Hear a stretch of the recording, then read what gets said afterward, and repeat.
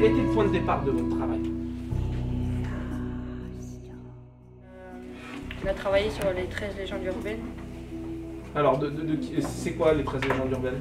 Bah, c'est... Il y a 13 légendes urbaines de Olivier Lotte, Alain Venise et Nicolas Jaillet. Nicolas Jaillet, d'accord. Donc, C'était un livre, c'est ça? Oui. D'accord. Et dedans, il y a quoi alors Plusieurs, plusieurs sortes d'histoires. Et il y a du mystère, il y a... par rapport à cet ouvrage, quel était votre but Ben, le La- but, c'est de créer la 14e légende urbaine euh, qui suit après les autres. Plutôt clair, Eh bah, c'est normal, après, il faut que tu mettes. On a à faire Je t'écoute.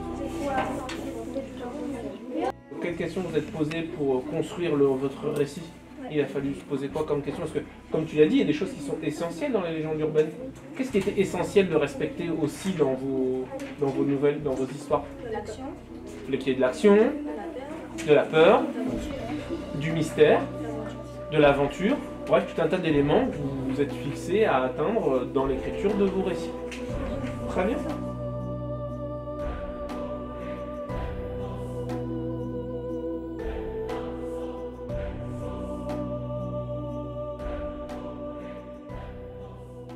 Nathalie euh, Vinet, elle nous a aidé à travailler sur nos couleurs, comment euh, faire pour euh, bien mélanger, pour faire une belle couleur pour les habits ou les calmenettes et tout ça.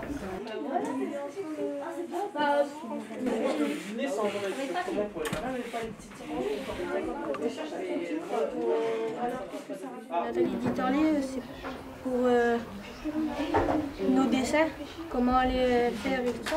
Comment construire une illustration hein. Étant illustratrice, elle vous a appris à construire une illustration. Ça se construit au fur et à mesure du temps.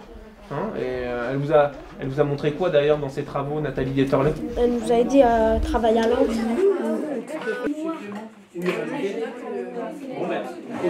On va peut-être on va en produire un autre. Le marron. Comment vous avez vécu ces rencontres Qu'est-ce que ça vous a apporté de manière générale, au-delà de vos croquis euh Ça, c'était bien. Ouais, ça, Alors pourquoi c'était bien d'avoir euh, deux personnes euh, référentes comme ça dans notre bah, classe ça nous a aidé un peu plus à évoluer. À évoluer alors parce que, euh, Quelles évolutions t'as eu toi, hein, Jimmy? Bah, pour les dessins. C'est-à-dire ah, sur la manière de dessiner?